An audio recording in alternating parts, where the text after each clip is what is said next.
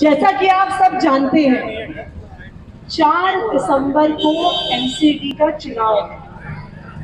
और ये चुनाव किसी पार्टी का चुनाव नहीं है। ये चुनाव आपके और हमारे गली मोहल्ले का चुनाव है। आपके हमारे गली मोहल्ले में अगले पाँच साल साफ़ सफ़ाई होगी कि नहीं, उसका चुनाव है। आप सबको पता है कि दिल्ली में इस समय दो सरकारें चल रही हैं। एक सरकार है दिल्ली सरकार, अरविंद केजरीवाल जी की सरकार देती है, सस्ती बिजली देती है, ज़ीरो बिजली का बिल देती है। अरविंद केजरीवाल जी की सरकार पानी देती है, फ्री देती है। अरविंद केजरीवाल जी की सरकार मोहल्ला क्लिनिक देती है, वहाँ पे डॉक्टर भी फ्री है, दवाइयाँ भी फ्री है, सारे टेस्ट भी फ्री है।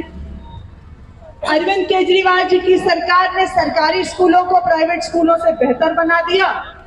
हम लोग जहाँ पे खड़े हैं, थोड़ी ही दूर 500 मीटर की दूरी पे, स्कूल ऑफ़ स्पेशलाइज एक्सीलेंस है, जहाँ पे 50 सीटों में एडमिशन के लिए इस साल 2000 बच्चों ने एडमिशन का फॉर्म भरा था।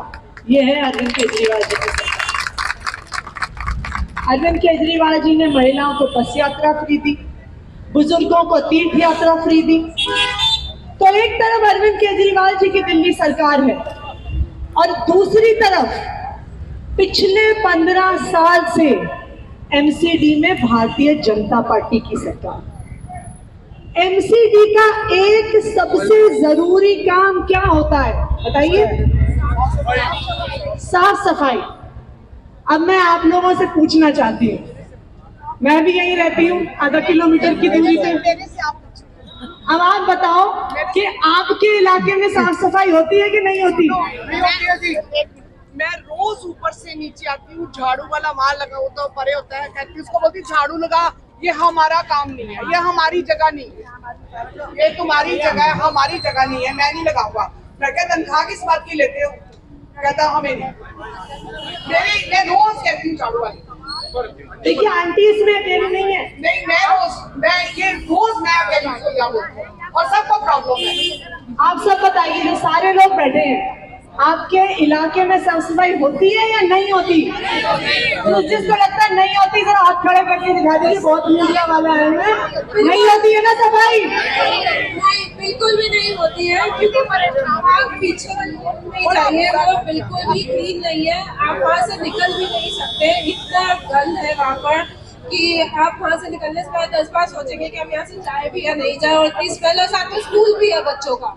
तो मतलब जब हम चलने वाले लोग ही नहीं निकल सकते तो बच्चे कैसे पढ़ते हो बिल्कुल सही बात है। जब मेरे घर में कोई आता है मैं बी ब्लॉक में रहती हूँ। मैं कहती हूँ आप गोल चक्कर से मुड़ना। तो जहाँ पे वो कूड़े का ढेर पड़ा होगा ना वहाँ से लेफ़्ट टर्न ले लेना। ये हालात है ये लैंडमार्क हो गया है। हाँ जी मैम पानी जब बारिश के दिनों में यहाँ पानी की कोई व्यवस्था नहीं सीवर ऐसे बहुत जाते हैं यहाँ पे। हम लोग पर्सनली हल करते बुलाते हैं उसके बाद भी ये हाल होता है। कूड़े के जगह जगह ढेर लगे हुए हैं। चाहे वो स्कूल हो हॉस्पिटल हो कहने को होता है कि यहाँ सफ़ाई होनी चाहिए हॉस्पिटल है और कूड़े के ढेर लगे हुए क्या कर सकते हैं? ठीक बात है। आप दिल्ली के हर हिस्से में जाइए। आप गली में जाइए वहाँ पे कूड़े का ढेर है। आप किसी कॉलोनी में जाइए वहाँ कूड़े का ढेर है।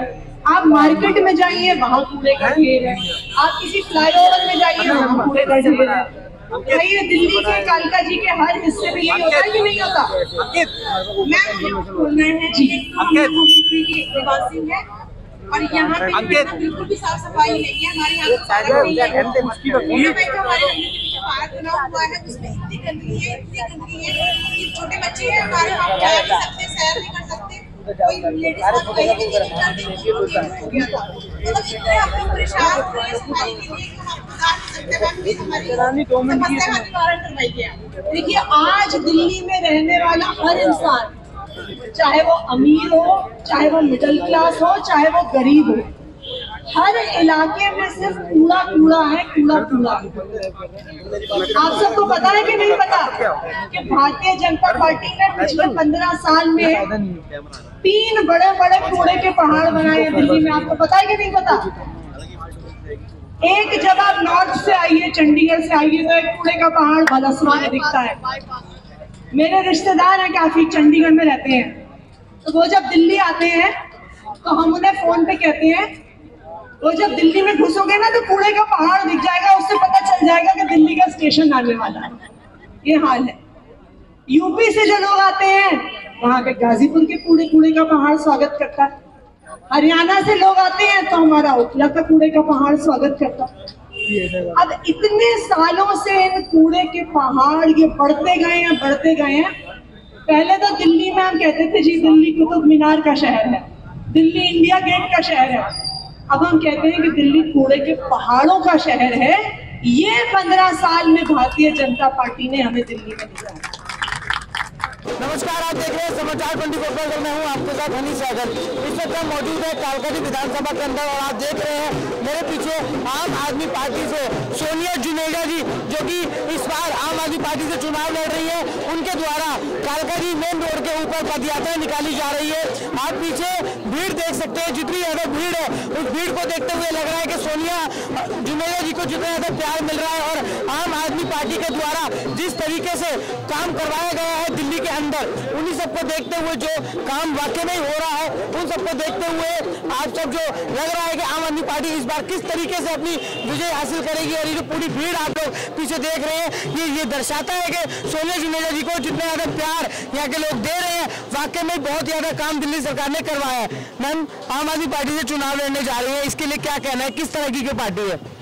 पार्टी से हम इसीलिए जुड़े हैं क्योंकि ग्राउंड लेवल पे सारे काम कराती है, लोगों से कनेक्टेड है।